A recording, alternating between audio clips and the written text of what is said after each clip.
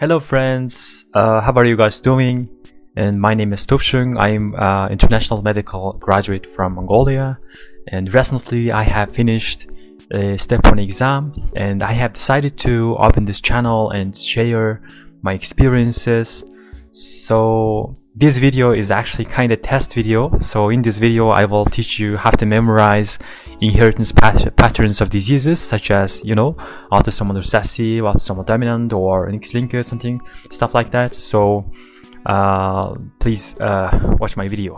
Thank you so through my experience of my step 1, recalling if a disease is autosomal dominant or X-linked or autosomal recessive was challenging. I was forgetting them all the time.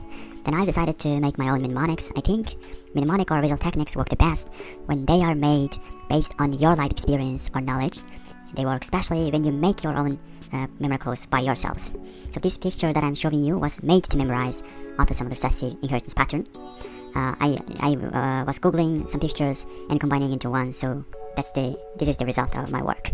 So you may find this mnemonic nonsense uh, because uh, some words may be not familiar to you because such as muka. Muka is a word in Russian uh, has a meaning of flower in English. So I used some words uh, that I, I was familiar with. So, you know, this is just an imagination. You can imagine anything in, in your imagination world. As we know, mnemonic doesn't have to be reality. So, in my case, this picture worked for me because I made it by myself. So I encourage you guys to make your own mnemonics by googling this kind of pictures. So let's read this mnemonic together. Red kid fried spins white muka, which means flour, with honey, glycogen, and iron, and using tall cart whale for a citronate. So red kid means recessive poly uh, cystic kidney disease. Freud is Friedreich ataxia. So spins, this means uh, means mixing. So uh, the, the, disease for this word is sphingolipidosis. So white, white is for albinism. Uh, is for, as I said before, mu um, mucopolysaccharidosis. So honey is a very viscous thing. What's the very viscous disease? Oh yeah, that's cystic fibrosis. So glycogen storage diseases and hemochromatosis, uh, hemochromatosis. And tall means thalassemia, cart is Kartagener, and Will is Wilson's disease, and Cygnett, which is a sickle cell disease.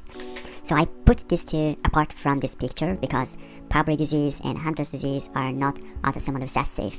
So as again, I encourage you guys to make your own mnemonics. It's very easy, you guys just have to uh, Google some pictures then combine into one picture, right? So good luck and subscribe to my channel. I'm thinking of making more videos. So good luck uh, for your preparation. Thank you guys.